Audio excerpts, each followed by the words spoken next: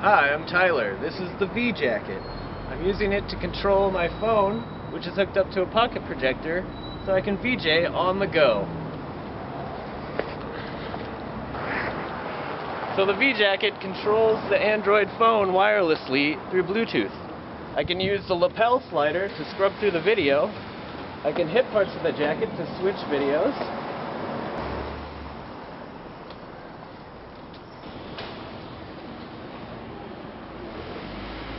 You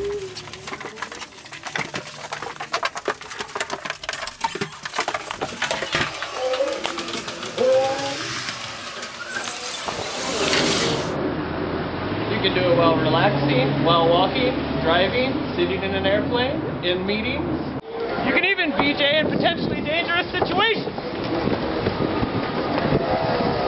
It's all due to an app called Sensorizer, which interprets the sensor readings from the VJacket and sends them as open sound control messages to different audio and video apps. Like Pocket Looper to scrub and loop videos or Pocket VJ for trippy particle effects.